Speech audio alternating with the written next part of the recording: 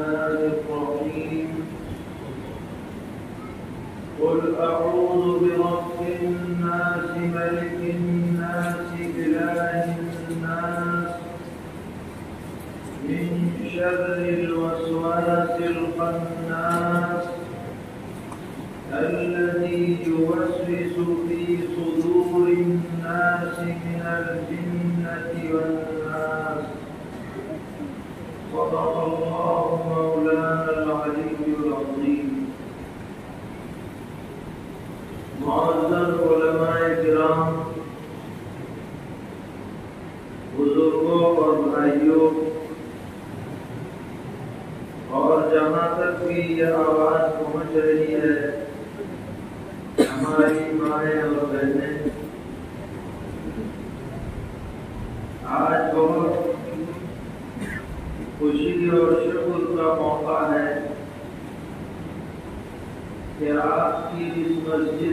مسجد میں قرآن پاک کے ترجمے کا ایک دور مکمل ہو رہا ہے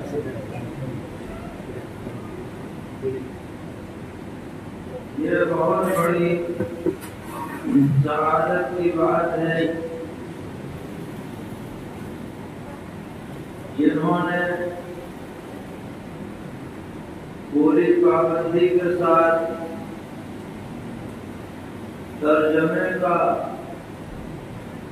عمل انجام دیا اور جو ہمارے احباب اس مبارک اور نور مجلس میں پابندی سے شریک ہوتے رہے، وہ سب بہت زیادہ مبارکبادی کے مستحق ہیں۔ اللہ تبارک و تعالی اس سلسلے کو قبول فرمائے۔ اور آئندہ بھی جاری رکھنے کی توفیق عطا فرمائے۔ اس لیے کہ امت کی ہدایت کے واسطے قرآن پاک سے زیادہ مؤثر کوئی چیز نہیں ہو سکتی۔ آدمی اپنی طرف سے اتنی ہی باتیں کر لے۔ اور اچھے سے اچھا مضمون بیان کر لے۔ لیکن جو بات اللہ کی کتاب میں اور اللہ کے کلام میں ہے، وہ بندوں کی زبان میں، وہ بات ہرگز نہیں ہوتی آپ تاریخ کا مطالعہ کریں گے تو یہ بات سامنے آئے گی۔ کہ دنیا میں جہاں جہاں بھی دینی انقلاب آیا ہے معاشرے کی اصلاح ہوئی ہے۔ خوشگوار تبدیلی رونما ہوئی ہے۔ ان میں سب سے بڑا کردار قرآن مقدس کا ہے۔ جو شخص بھی قرآن پاک پڑھے گا اور قرآن سمجھنے کی کوشش کرے گا اور قرآن کے مضامین پر غور کرے گا اس کے ایمان میں ضرور اضافہ ہوگا۔ اور اس کے دل کے اندر جو روگ ہیں، بیماریاں ہیں، افراد باطنی ہیں، اخلاق فاسدہ ہیں، وہ ظاہر ہوں گے۔ قرآن پاک کی تعلیمات کو پڑھنے سے اور ان پر عمل کرنے سے۔ اس لیے بہت مبارک یہ سلسلہ ہے۔ اور ہونا یہ چاہیے کہ ہر مسجد میں یہ نظام جاری ہو۔ جو ائمہ کرام ہیں اور وہ عالم ہیں، وہ اگر ترجمے کا سلسلہ شروع کریں گے تو اوروں سے زیادہ پہلے خود ان کو نفع ہوگا۔ کیونکہ قرآن پاک تمام علوم کا سر چشمہ ہے۔ قرآن پاک کو جب آدمی سمجھنے کی کوشش کرے گا، تو آیات مبارکہ پر بھی نظر رہے گی۔ اس لیے کہ آپ جانتے ہیں کہ قرآن پاک کی بعض آیتیں بعض دیگر آیتوں کے لیے تفسیر و تشریح کا ذریعہ بنتی ہے کسی جگہ مضمون مختصر ہے کسی جگہ مفصل ہے کہیں واقعہ اجمالی ہے کہیں تفصیلی ہے تو جب آدمی قرآن پاک کا ترجمہ کرتا ہے تو اس کی نظر رفتہ رفتہ پورے قرآن پر ہو جاتی ہے۔ یہ علم میں اضافہ ہے۔ اسی طرح قرآن پاک کو سمجھنے کے لیے محض عربی زبان جاننا کافی نہیں۔ یا محض ترجمہ دیکھ لینا کافی نہیں ہے۔ بلکہ قرآن پاک کو سمجھنے کے لیے احادیث شریفہ پر بھی نظر رکھنی ضروری ہے۔ اگر آدمی احادیث شریفہ کو نظر انداز کر دے گا، تو وہ قرآن کی صحیح تفسیر تک ہرگز پہنچ نہیں سکتا ہے۔ کون سی آیت ناسک ہے، کون سی منسوخ ہے؟ اس آیت کا کیا مطلب ہے، اس کا کیا محمل ہے۔ بغیر احادیث شریفہ کے سمجھا نہیں جا سکتا ہے۔ تو جو ترجمہ کرے گا، اسے لا محالہ احادیث شریفہ پر بھی نظر رکھنی پڑے گی۔ اور اسی طریقے پر قرآن پاک میں جتنے بھی منکرات ہیں، برائیاں ہیں آ ان کا تعلق عقیدے سے ہو آ ان کا تعلق اعمال سے ہو، افعال سے ہو، قرآن میں ان کی تردید کی گئی۔ اور ان کو کھرچنے کا کام کیا ہے قرآن میں۔ چنانچہ قرآن پاک کا ایک اہم موضوع ہے، شرک اور بت پرستی کی مرمت اور تردید۔ اور اللہ تبارک و تعالیٰ کی وحدانیت اور اس کی قدرت کاملہ اور صفات حمیدہ، اس پر جو قرآن زور دیتا ہے تو جو شخص بھی ان آیات کو پڑھے گا، اس کے دل میں وحدانیت راسک ہو جائے گی اور شرک کے تمام جراثیم اس کے رگ و ریشے سے نکل کر کے باہر ہو جائیں گے۔ یہ قرآن آیات کی تاثیر ہے۔ اور اسی پر ہمارے دین کا مدار ہے۔ اسی طرح آپ قرآن پاک کو اٹھائیے۔ شروع سے لے کے آخر تک جگہ جگہ جھنجھوڑا گیا ہے۔ اور اس طرح جھنجھوڑا گیا جیسے کسی آدمی کے موڑے پکڑ کر کے ہلا دیا جاتا ہے۔ اس بات پر جھنجھوڑا گیا ہے کہ دنیا ہمیشہ رہنے کی جگہ نہیں ہے۔ تمہیں اللہ کے دربار میں جانا ہے حساب دینا ہے۔ اور تمہیں اللہ تبارک و تعالی کے دربار میں حاضری سے کوئی روک نہیں سکتا اور نہ تم خود روک سکتے ہو، تمہارے بس میں نہیں ہے۔ چھک مار کے تمہیں پہنچنا پڑے گا۔ یہ قرآن کا اہم ترین موضوع ہے۔ جس کو آخرت کہا جاتا ہے۔ تو جب ہم قرآن پاک پڑھیں گے، جب ہم پڑھائیں گے اور جب ہم اس طرح کی مجالس میں شریک ہوں گے تو یہ ایمانی صفات ہمارے اندر اجاگر ہوگی اور جو برائیاں ہیں، جو امراض ہیں، ان سے ہمارا دل صاف جناب اللہ تبارک و تعالی نے خود قرآن پاک میں قرآن پاک کا تعارف کرایا ہے۔ اور اس سے بہتر تعارف کچھ نہیں ہو سکتا۔ فرمایا، یا ایوہ الناس قد جاءتكم موعظة من ربكم.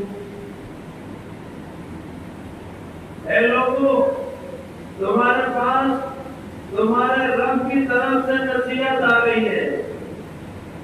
ایرے غیرے کی طرف سے نہیں آئی ہے۔ تمہارے رب کی طرف سے یہ آئی ہے۔ یہ اللہ کی کتاب ہے، تمہارے خالد کی کتاب ہے۔ تمہارے رب کی کتاب ہے۔ اور اس کتاب کے اندر اللہ کی رحمت ہے، ہدایت ہے۔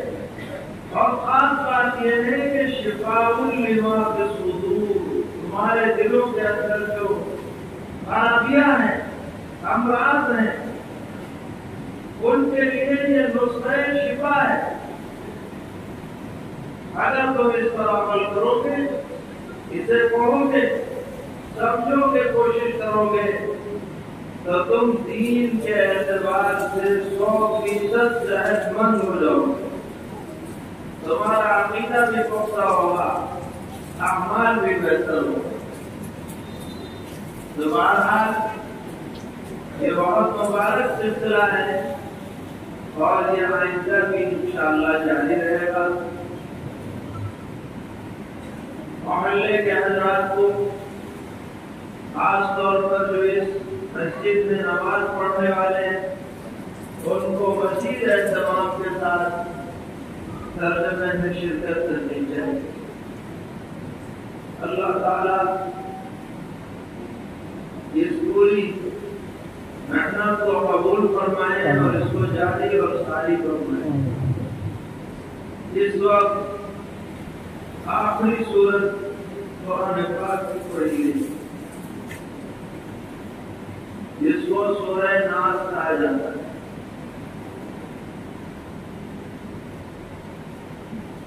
اور اس صورت میں اللہ تبارک و تعالی نے سرور عالم صلی اللہ علیہ وسلم کو حکم دیا ہے۔ یا آپ اس طریقے پر پڑھنا چاہیے۔ اللہ تبارک و تعالی کے دربار میں درخواست کیجیے کہ وہ ہمیں شیطانی اثرات سے محفوظ رکھے۔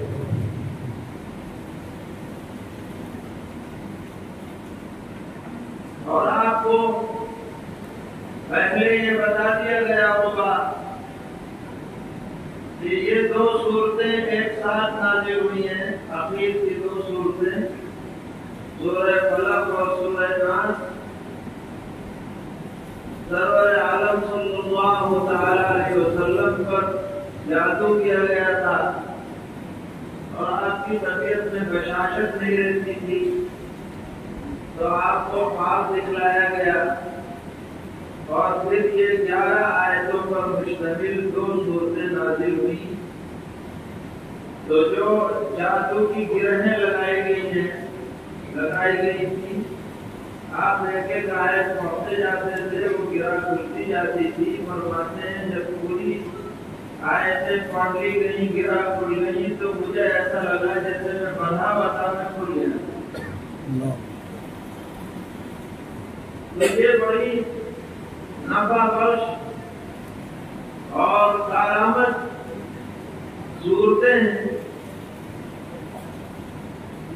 اور اس میں جو پہلی صورت ہے، اس میں ایسے شرور سے پناہ چاہی گئی ہے جو آنکھوں سے نظر آتے ہیں۔ مخلوقات میں جو چیزیں آنکھوں سے نظر آتی ہیں، آ سکتی ہیں، ان سے پناہ چاہیے گئی۔ اور پناہ چاہتے وقت اللہ تبارک و تعالیٰ کا جو نام لیا گیا، تو ایک صفت کے ساتھ لیا گیا۔ کل اعوذ برب الفلق۔ ایک مرتبہ اللہ کا نام لیا، صفت کے ساتھ اور پھر من شر ما خلق اور بسم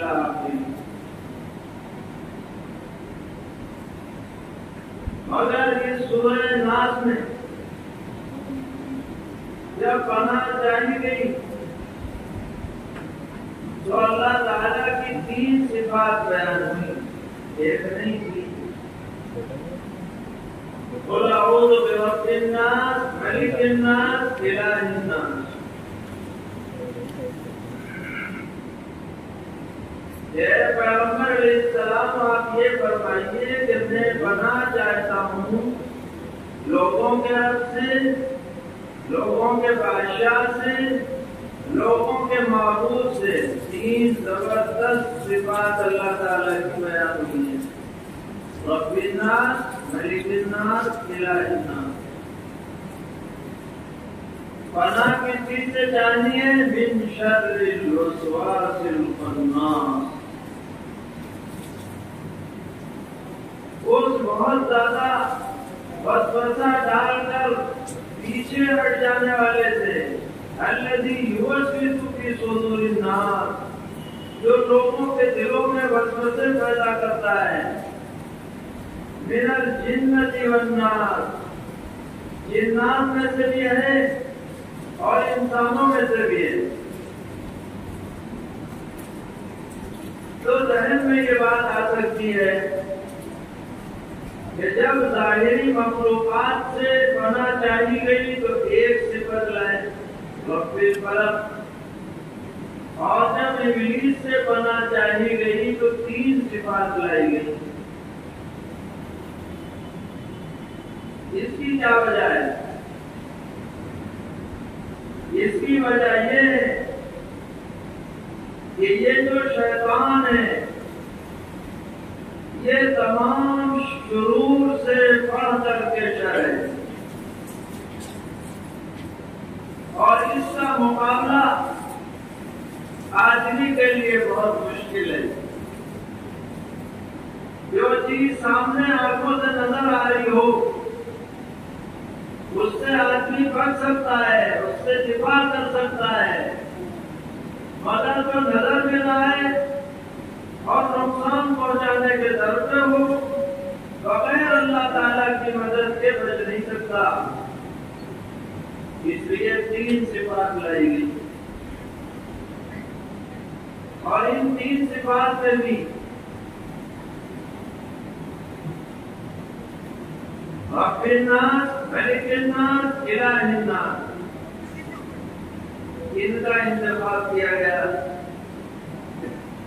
تو حضرت شاہ عبدالعزیز محدث دہلوی رحمۃ اللہ علیہ فرماتے ہیں کہ ان صفات کو لانے کا بھی ایک اہم راز ہے۔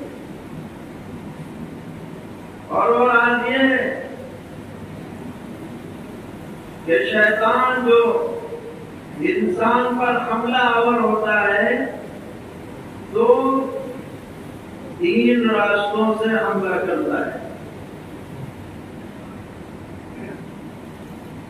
پہلا راستہ ہے کہ وہ آدمی میں شہوات اور لذات کو ابھارتا ہے، جس میں آدمی دیوانہ ہو جاتا ہے۔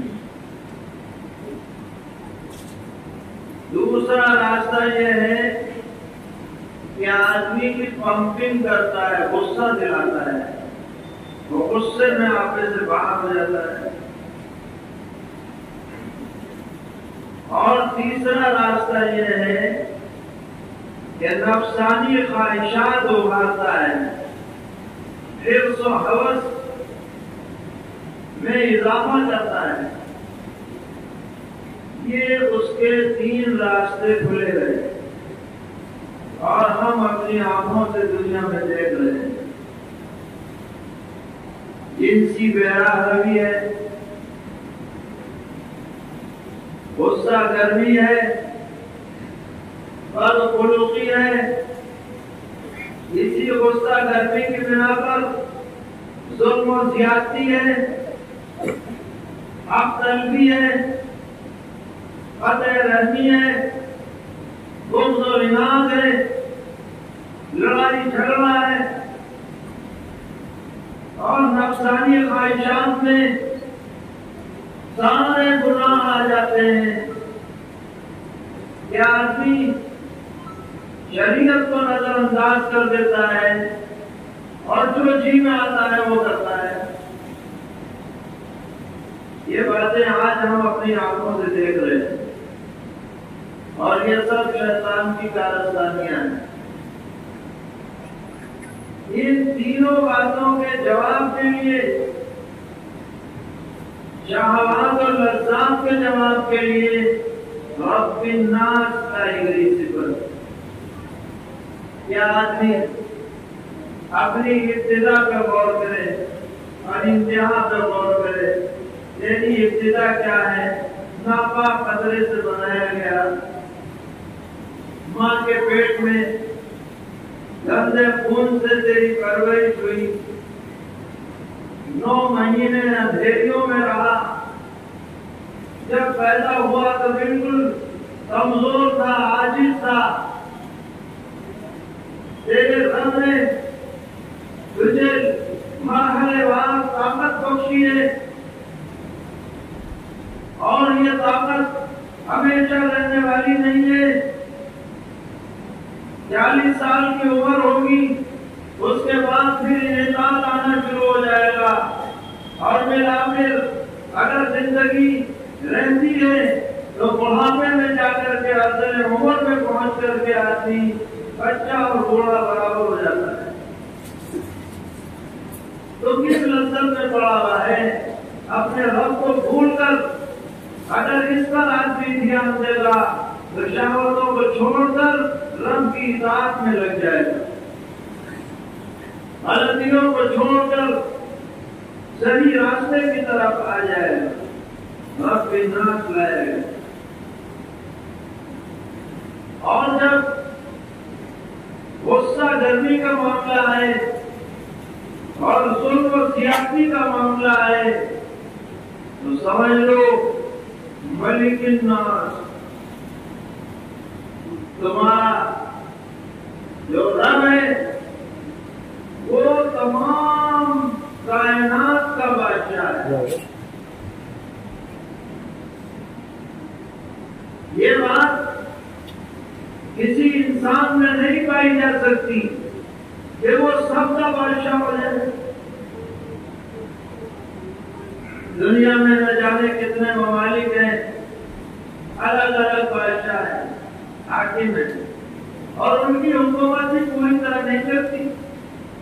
ایسے ہی آتی ہے ضروری مگر جو رب العالمین ہے مالک الملک ہے اس کی حکومت زبردست ہے۔ تو غصہ کس نے کر رہا ہے؟ تیری حیثیت کیا ہے؟ ذرا اللہ تعالیٰ کے جام و جلال پہ نظر کر، تو اپنی حیثیت پتہ چل جائے گی۔ اور غصہ کافور ہو جائے گا ملک الناس لائے گا جب بھی آدمی کو جلا لائے اللہ کی قدرت پہ نظر ڈال لے۔ کسی پر زیادتی کرنے پر آ جائے۔ تو اللہ تعالیٰ کی قدرت کو نظر رکھے اٹھتا ہوا ہاتھ پیچھے ہٹ جائے حدیث میں آتا ہے۔ حضرت ابو مسعود بدری رضی اللہ تعالیٰ عنہ فرماتے ہیں، مجھے ایک غلام پر اپنے غصہ آ گیا۔ اور میں نے کوڑا اٹھا دیا اس کو مارنے کے لیے۔ سرور عالم صلی اللہ تعالی علیہ وسلم وہاں سے گزر رہے تھے۔ آپ نے زور سے آواز دی، یا مسعود۔ کہتے ہیں، مجھے اتنا غصہ آ رہا تھا میں پہچان نہیں سکا کس کی آواز ہے۔ کہا کہ حضور قریب تشریف لے آئے۔ تو حضرت نے فرمایا وہ سود جتنا تم اس غلام کو مارنے پر قادر ہو، اللہ تعالیٰ اس سے زیادہ تمہیں سزا دینے پر قادر ہو تم ہو کی طرح کہتے ہیں، میں تو کھانپ گیا اور ہاتھ سے پورا گر گیا، میں نے کہا، یہ آزاد ہے آزاد حضور نے فرمایا ہاں اچھا کیا آزاد کر دیا۔ ورنہ بغل نہ ہو جاتا۔ نصیحت ملی۔ کہ اپنے ماتحتوں کو ان پر ظلم زیادتی مت کیا کرو۔ وہ بھی کسی ماں باپ کی اولاد ہے۔ وہ بھی کسی کے آنکھوں کی ٹھنڈک ہے وہ بھی کسی کے دل کے سرور ہے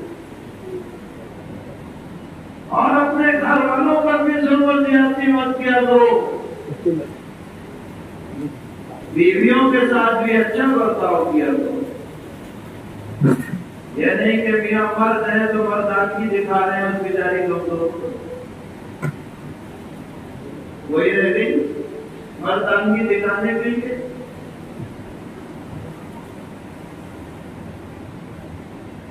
سرور عالم صلی اللہ تعالی علیہ وسلم نے فرمایا کہ جو لوگ اپنی بیویوں پر ظلم و زیادتی کرتے ہیں، وہ تم میں اچھے لوگ نہیں ہیں۔ اس کے ساتھ اس نے سلوک کرنا ہے۔ عمر علیہ السلام نے فرمایا اکمل المؤمنین ایمانا احسنهم خلقا والقبهم باهله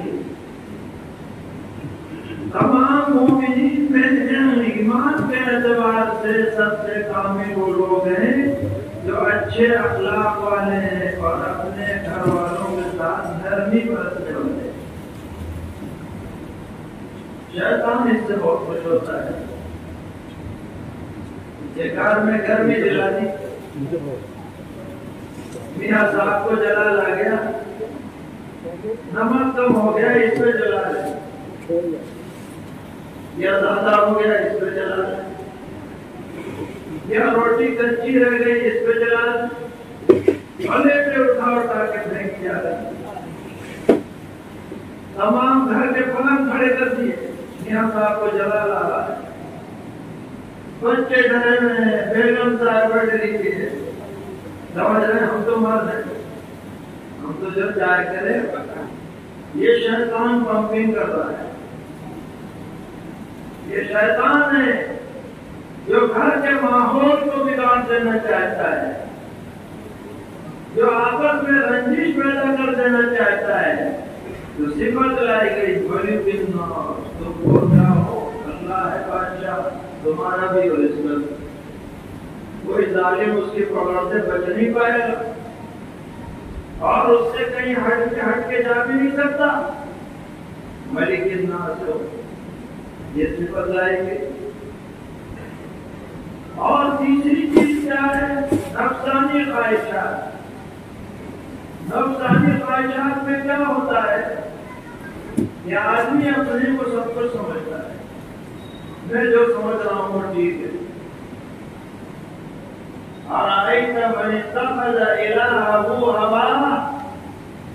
آدمی اپنی خواہش کو اپنا معبود بنا لیتا ہے۔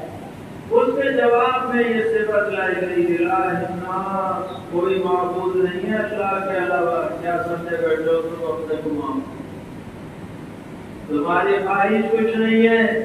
لا طاعت لمخلوق معصیت اللہ کسی مخلوق کی کوئی بات مانی نہیں جائے گی اللہ کی نافرمانی کے اندر بات چلے گی تو صرف اللہ کی چلے گی تو الہ الناس لایا گیا یہ تینوں صفات عین مناسب ہیں۔ ابلیس اور شیطان اور ان کے لا لشکر کے مقابلے کے لیے۔ اور سب سے آخر میں یہ صورت رکھی گئی ہے، یہ بتلانے کے لیے کہ تم کامیاب نہیں ہو سکتے جب تک کہ اپنے دشمن کو دشمن نہ سمجھو۔ اور تمہارا سب سے بڑا دشمن جو ہے، وہ انگلی سے لڑین ہے، اس کا لال لشکر ہے اور اس نے مشن چلا رکھے۔ بے حیائی پھیلانے کے۔ آپس میں رنجشیں پھیلانے کے۔ کفر اور کنجوسی کا مزاج لوگوں کے اندر پیدا کرنے کے۔ یہ اس کے مشن ہے خیر کی جگہوں پر خرچ کرنے سے یہ مانے بنتا ہے، فخر سے ڈرانا ہے۔ ان سب باتوں کو سامنے رکھ کر اس کی ساری سازشوں سے بچو اور اللہ سے مدد جاؤ یہ پیغام ہے صورت کا ایک جگہ اور قرآن میں فرمایا گیا، ان شیطان لکم عدون فتخذوه عدوا۔ شیطان تمہارا دشمن ہے، اسے دشمن بنا کے رکھو۔ دوستی مت کرو آج جو معاشرہ بگڑا ہے وہ اسی لیے بگڑا اس دشمن نہیں سمجھتے زبانی دشمن سمجھتے ہیں بس باقی تو پکی دوستی اور آپ کو دیکھنا ہو دوستی تو شادیوں میں چلے جاؤ ایسا لگے گا کہ ان سے بڑے پکے دوست تھے ہی دنیا جو عام دنوں میں ٹوپی میں رہتے ہیں، شادی میں بے ٹوپی ہو جاتے ہیں۔ ہمارے دکان پہ بیٹھے ہیں، ٹوپی ہے۔ سڑک پہ جا رہے ہیں تو ٹوپی ہے۔ رشتے داری میں جا رہے ہیں تو ٹوپی ہے۔ شادی میں جا رہے ہیں، ٹوپی ہے۔ عام حالات میں بہت سے لوگ ہیں۔ ایسا لباس پہنتے ہیں کہ ٹپنے کھلے ہوئے مردوں کے ٹپنے کھلے ہونے چاہیے۔ ٹپنے ڈھکنا شیطان کا طریقہ بولنا ایک لوگوں کا طریقہ مگر شادی میں جائے تو ضرور ڈھکیں گے۔ وہ تو کھل گئی۔ اگر کھل گئے تو فٹ ہو جائے گی۔ بے عزتی ہو جائے گی۔ بتاؤ، ہے ایسا ہے اور میاں، بے زریر خرچ ہو رہا ہے۔ بے زریر ویسے شکوے شکایت ہے حالات خراب ہے مسئلہ چل رہا ہے بہت گرمی چل رہی ہے۔ مولاناؤں کے پاس جا رہے ہیں جی تعویذ کر تو بندش لگی ہے۔ شادی میں جاؤ ایسا لگے سب بھول گئی۔ حالانکہ قرآن کیا کہہ رہا ہے؟ وَلَا تُبَذِّرْ تَبْذِيرًا۔ إِنَّ الْمُبَذِّرِينَ كَانُوا إِخْوَانَ الشَّيَاطِينِ وَكَانَ الشَّيْطَانُ لِرَبِّهِ عَدُوًّا اللے تللے مت اڑاؤ جو اس طرح اڑانے والے سب شیطان کے بھائی بہن نے قرآن کہہ رہا ہے اور شیطان اپنے رب کا ناشکرا ہے۔